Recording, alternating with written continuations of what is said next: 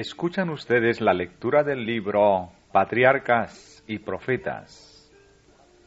Capítulo 44. El cruce del Jordán.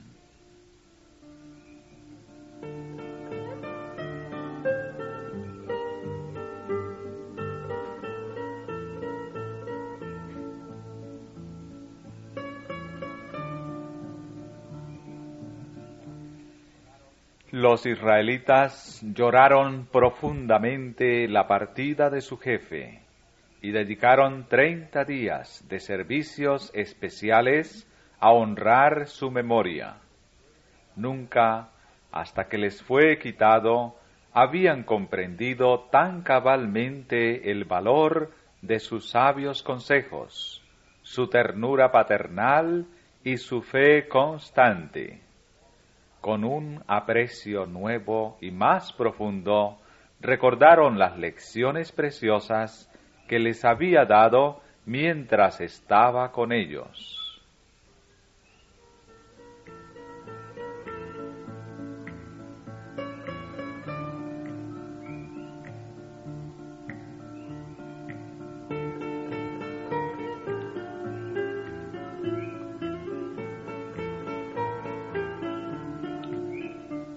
Moisés había muerto, pero su influencia no murió con él. Ella había de sobrevivir reproduciéndose en el corazón de su pueblo.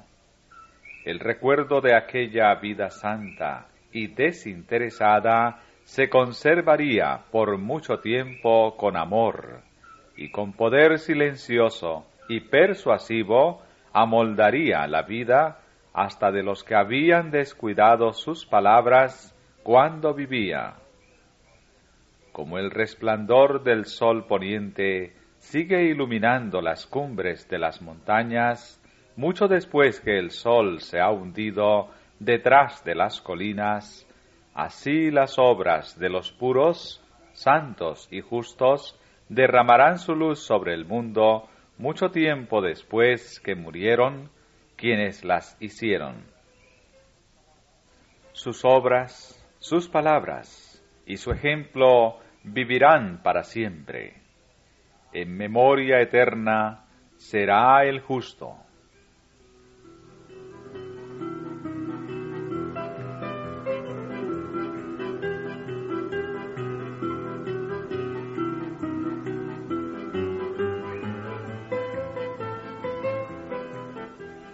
Aunque llenos de pesar por su gran pérdida, los israelitas sabían que no quedaban solos. De día, la columna de nube descansaba sobre el tabernáculo y de noche la columna de fuego, como garantía de que Dios seguiría guiándoles y ayudándoles si querían andar en el camino de sus mandamientos.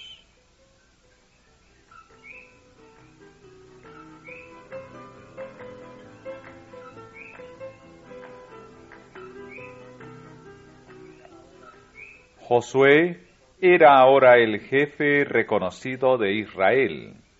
Se había distinguido principalmente como guerrero, y sus dones y virtudes resultaban de un valor especial en esta etapa de la historia de su pueblo. Valeroso, resuelto y perseverante, pronto para actuar, incorruptible, despreocupado de los intereses egoístas en su solicitud por aquellos encomendados a su protección y, sobre todo, inspirado por una viva fe en Dios. Tal era el carácter del hombre escogido divinamente para dirigir los ejércitos de Israel en su entrada triunfal en la tierra prometida durante la estada en el desierto, había actuado como primer ministro de Moisés, y por su fidelidad serena y humilde, su perseverancia cuando otros flaqueaban, su firmeza para sostener la verdad en medio del peligro, había dado evidencias de su capacidad para suceder a Moisés, aún antes de ser llamado a ese puesto por la voz de Dios.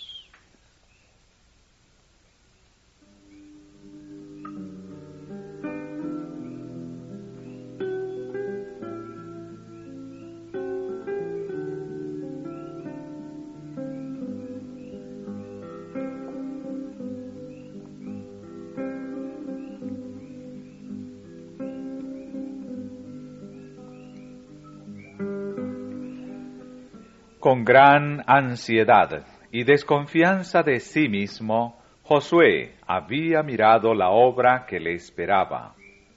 Pero Dios eliminó sus temores al asegurarle, Como yo fui con Moisés, seré contigo, no te dejaré, ni te desampararé.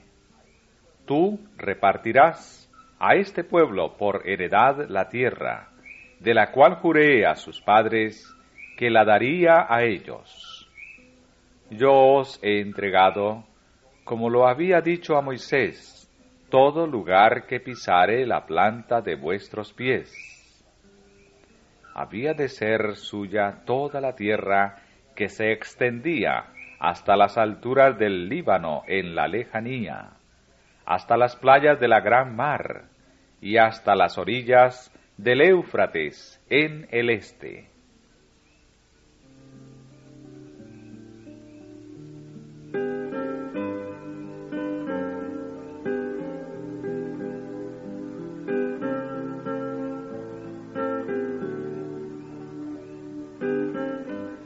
A esta promesa se agregó el mandamiento. Solamente te esfuerces y seas muy valiente para cuidar de hacer conforme a toda la ley que mi siervo Moisés te mandó. Además, le ordenó el Señor, el libro de aquesta ley nunca se apartará de tu boca antes de día y de noche meditarás en él. No te apartes de ella ni a diestra ni a siniestra, porque entonces harás prosperar tu camino y todo te saldrá bien.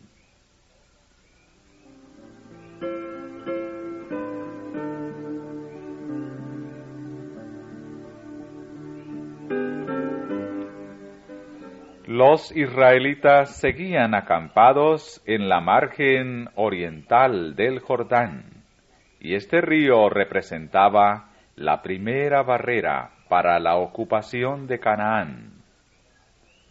Levántate, había sido el primer mensaje de Dios a Josué, y pasa este Jordán, tú y todo este pueblo, a la tierra que yo les doy a los hijos de Israel.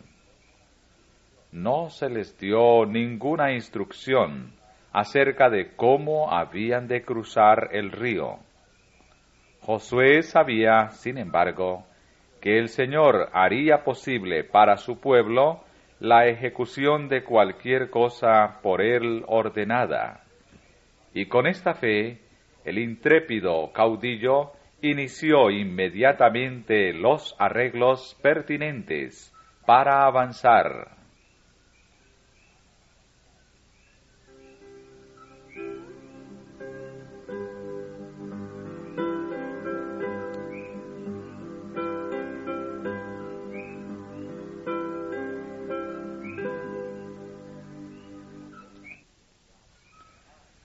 A pocas millas más allá del río, exactamente frente al sitio donde los israelitas estaban acampados, se hallaba la grande y muy fortificada ciudad de Jericó. Era virtualmente la llave de todo el país y representaba un obstáculo formidable para el éxito de Israel. Josué envió, por lo tanto, a dos jóvenes como espías para que visitaran la ciudad y para que averiguaran algo acerca de su población, sus recursos y la solidez de sus fortificaciones. Los habitantes de la ciudad, aterrorizados y suspicaces, se mantenían en constante alerta y los mensajeros corrieron gran peligro. Fueron, sin embargo, salvados por Raak, mujer de Jericó, que arriesgó con ello su propia vida. En retribución de su bondad, ellos le hicieron una promesa de protección para cuando la ciudad fuese conquistada.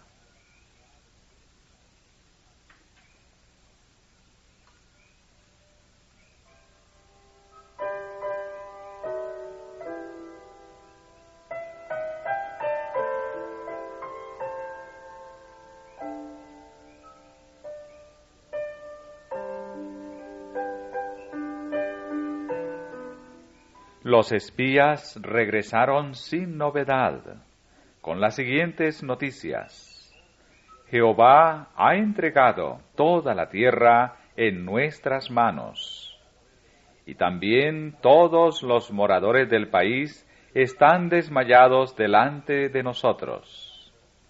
Se les había dicho en Jericó, hemos oído que Jehová hizo secar las aguas del mar Bermejo, delante de vosotros, cuando salisteis de Egipto, y lo que habéis hecho a los dos reyes de los amorreos que estaban de la parte de allá del Jordán, a Seón y a Og, a los cuales habéis destruido.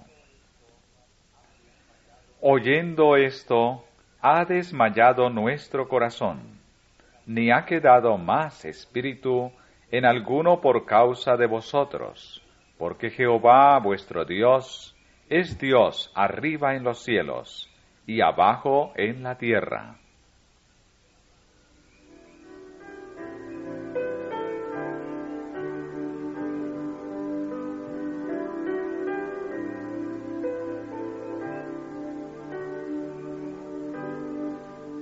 Se ordenó entonces que se hiciesen los preparativos para el avance. El pueblo había de abastecerse de alimentos para tres días, y el ejército había de ponerse en pie de guerra para la batalla. Todos aceptaron de corazón los planes de su jefe y le aseguraron su confianza y su apoyo. Nosotros haremos todas las cosas que nos has mandado e iremos a donde quiera que nos mandares.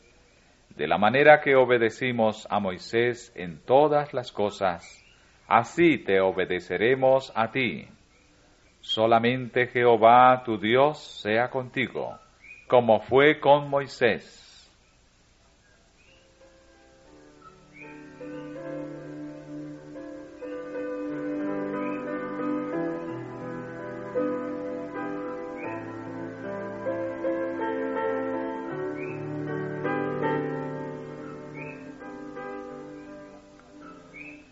Abandonando su campamento en los bosques de acacias de Sitín, el ejército descendió a la orilla del Jordán.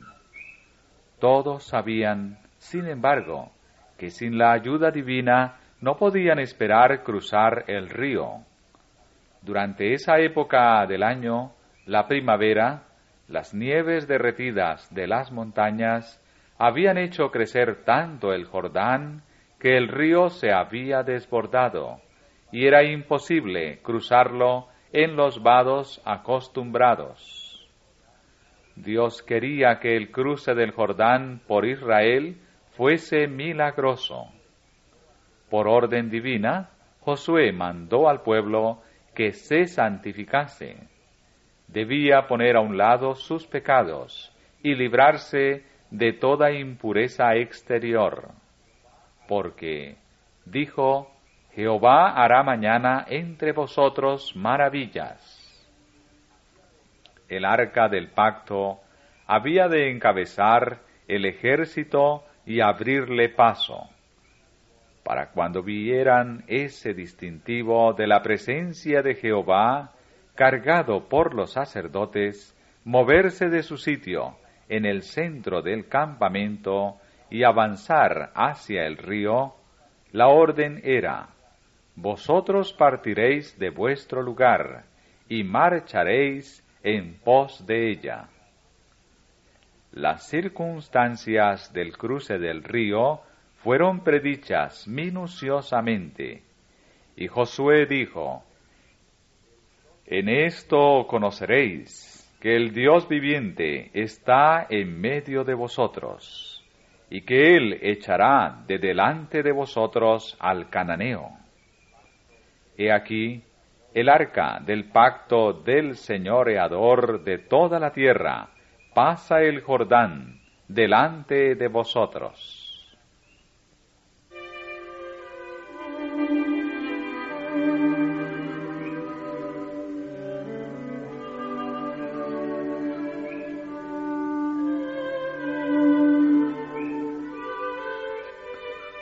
A la hora señalada comenzó el avance. El arca, llevada en hombros de los sacerdotes, encabezaba la vanguardia. Se le había ordenado al pueblo que se retrasara un poco, de manera que había un espacio de más de media milla entre ellos y el arca.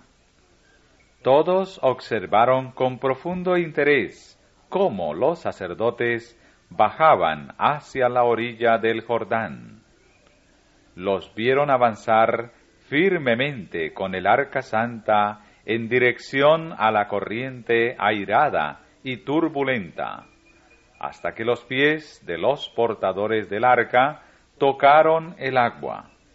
Entonces, las aguas que venían de arriba fueron rechazadas de repente, mientras que las de abajo siguieron su curso y se vació el lecho del río.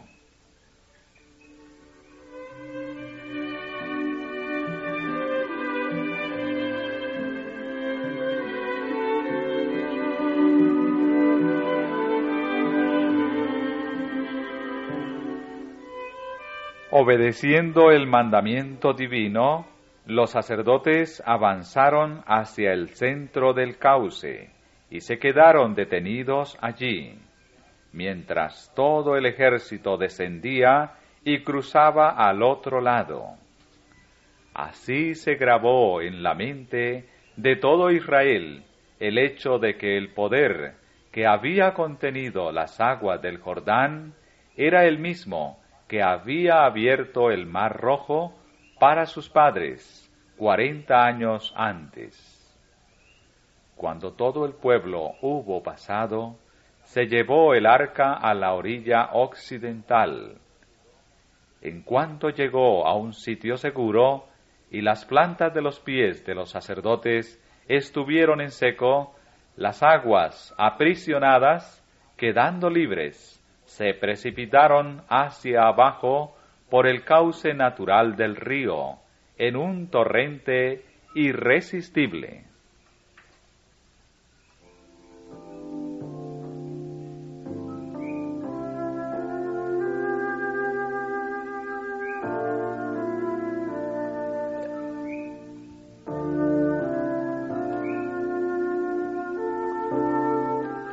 Las generaciones venideras no debían carecer de testimonio con referencia a este gran milagro.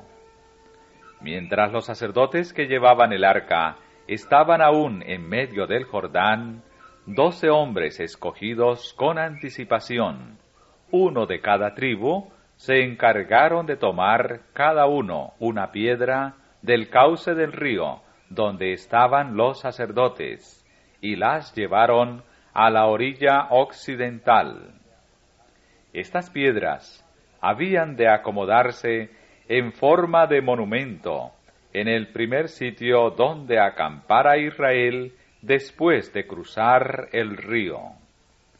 El pueblo recibió la orden de repetir a sus hijos y a los hijos de sus hijos la historia del libramiento que Dios había obrado en su favor, como dijo Josué, para que todos los pueblos de la tierra conozcan la mano de Jehová, que es fuerte, para que temáis a Jehová vuestro Dios todos los días.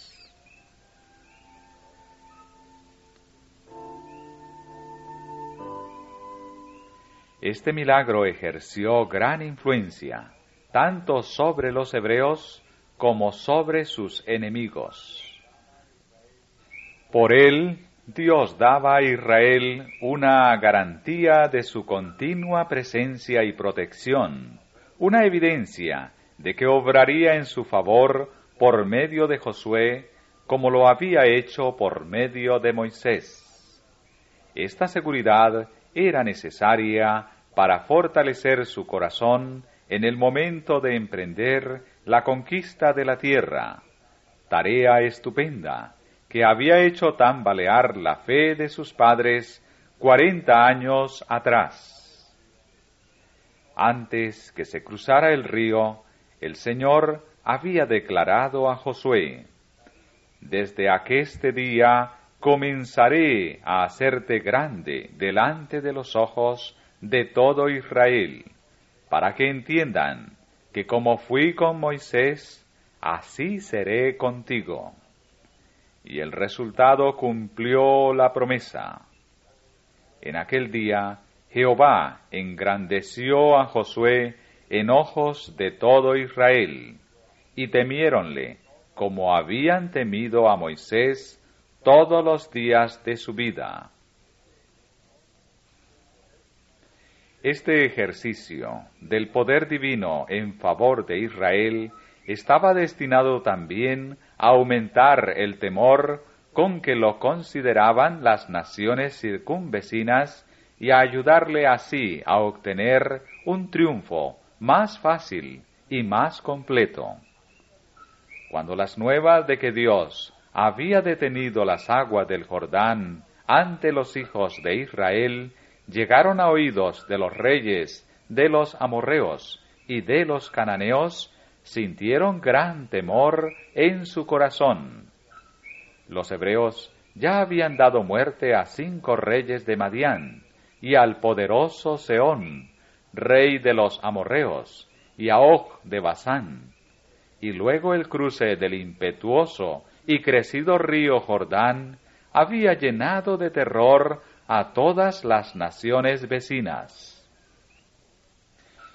Tanto a los cananeos como a todo Israel y al mismo Josué, se les habían dado evidencias inequívocas de que el Dios viviente, el Rey del cielo y de la tierra, estaba entre su pueblo y no los dejaría ni los desampararía.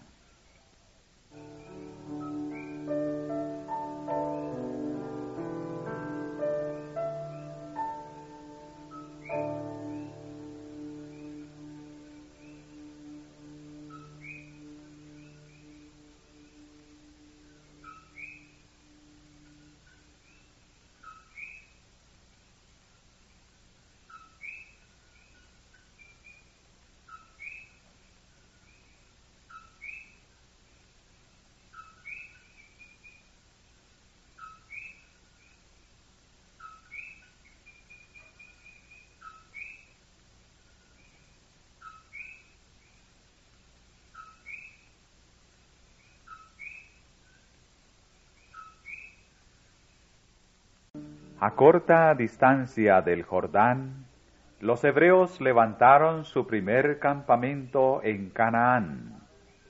Allí Josué circuncidó a los hijos de Israel, y los hijos de Israel asentaron el campo en Gilgal y celebraron la Pascua. La suspensión del rito de la circuncisión desde la rebelión ocurrida en Cádiz, había sido para Israel un testimonio constante de que había sido quebrantado su pacto con Dios, del cual la circuncisión era el símbolo señalado.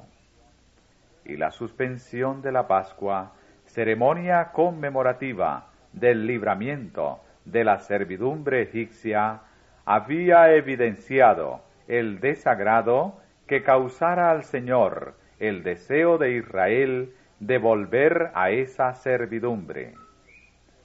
Pero habían terminado los años de repudiación. Dios reconocía nuevamente a Israel como su pueblo y se restablecía la señal de su pacto. El rito de la circuncisión se aplicó a todo el pueblo que había nacido en el desierto. Y el Señor le declaró a Josué, Hoy he hecho rodar de sobre vosotros el oprobio de Egipto. Y en alusión a este gran acontecimiento, llamaron el lugar de su campamento Gilgal, o sea, rodadura.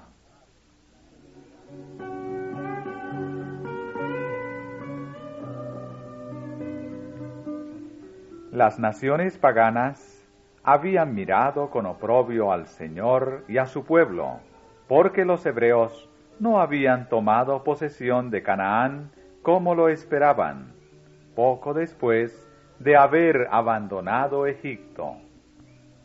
Sus enemigos se habían regocijado porque Israel había errado tanto tiempo en el desierto, y habían declarado en son de burla que el Dios de los hebreos no podía introducirlos en la tierra prometida. Ahora el Señor había manifestado señaladamente su poder y favor al abrir el Jordán ante su pueblo, y sus enemigos ya no podían tenerlos en oprobio.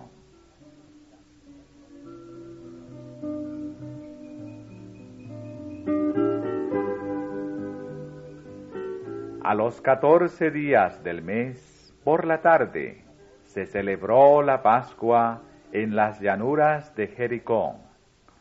Y al otro día de la Pascua comieron del fruto de la tierra los panes sin levadura, y en el mismo día espigas nuevas tostadas.